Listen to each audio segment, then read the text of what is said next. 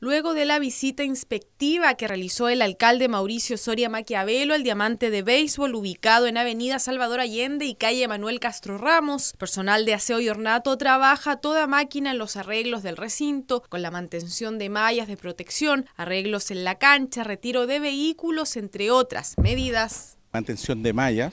eh, pintados de, la, las mallas, eh, caseta de reservas, eh, galerías, y mantención de piso que se está haciendo conjunto con el para que bueno los beisbolistas para que tengan una buena buena cancha. Este gobierno comunal comprometido con el deporte en todas sus disciplinas ejecutará la construcción de una nueva y definitiva cancha de béisbol con las medidas oficiales en el entorno del Cerro Dragón, además de una nueva cancha de rugby, mientras que en el actual diamante se trabajará para diseñar lo que será el centro acuático de Iquique. Lo más